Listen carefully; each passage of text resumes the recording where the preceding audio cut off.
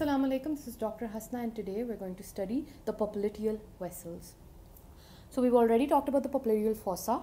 So now let's discuss the origin, course and termination of both the popliteal artery and the popliteal vein. Popliteal artery is one artery I'm sure you remember. We have discussed this in the femoral artery when I talked about the fact that femoral artery which is basically an artery of the anterior compartment it terminates at the hiatus magnus which is a opening in the adductor magnus muscle. That's where the femoral artery terminates and it terminates as the popliteal artery. So here I would like to uh, go through that once again. Basically femoral artery it's the artery of the anterior compartment of your thigh. Now for something to come to the posterior compartment of the thigh that's because obviously the popliteal fossa lies in the posterior compartment. So if anything has to come into the posterior part, it has to cross this medial compartment muscle called the adductor magnus. Once the femoral artery enters this opening, it allows the passage of femoral artery from anterior to the posterior compartment. However, the femoral artery, once it reaches the hiatus magnus, it becomes the popliteal artery. So you can say the origin of popliteal artery is the continuation of femoral artery at the adductor magnus hiatus. Okay, uh, all right. Now what happens is the course of the popliteal artery, which is quite simple. We almost covered it in the popliteal fossa. The course of the popliteal artery is that it begins in the hiatus magnus and then it reaches the superior angle of your popliteal fossa. It traverses the popliteal fossa from the superior angle all the way till the inferior angle being the most deep content of this fossa. It is lying most medial in the upper part. It crosses the tibial nerve to become the most lateral content in the lower part. Then it encounters this muscle called popliteus.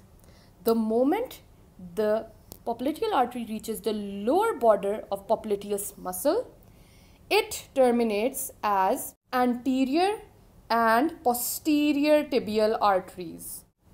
So that's how the popliteal artery terminates.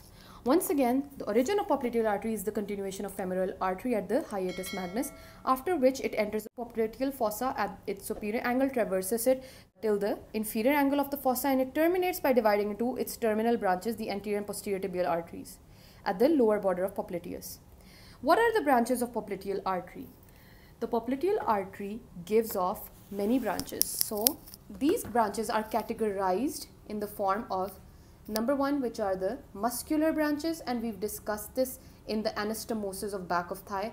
The upper muscular branches were basically responsible for anastomosing with the fourth perforating artery. Also it supplies the muscles of the back of the thigh.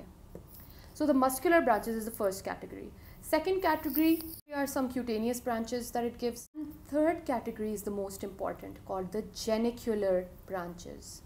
Now the genicular branches are five in number. How are they five and why are they five? Two superiors, one middle and two inferiors. These genicular branches are known as the superior lateral genicular, superior medial genicular, middle genicular, inferior lateral genicular, inferior medial genicular arteries.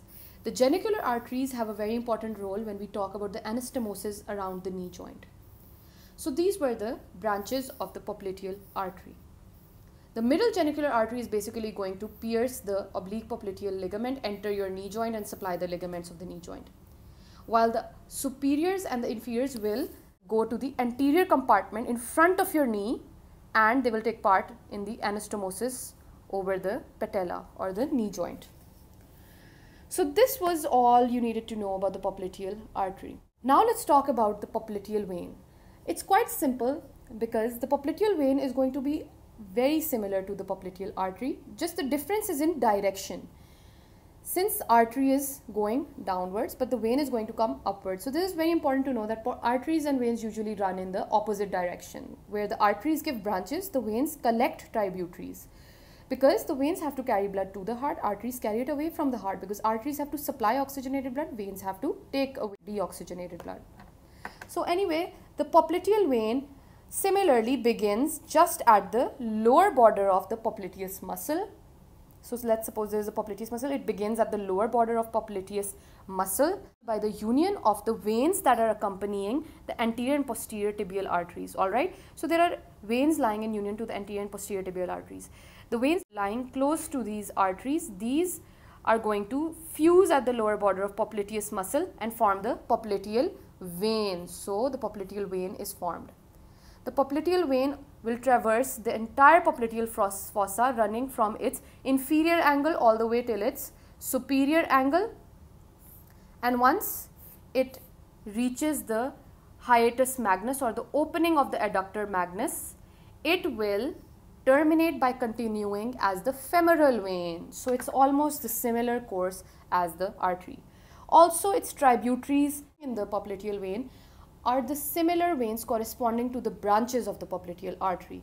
And in addition to that, the small saphenous vein is going to drain in the popliteal vein. The small saphenous vein is a superficial vein that we'll discuss later. This superficial vein goes to enter the popliteal vein and drain into it, alright.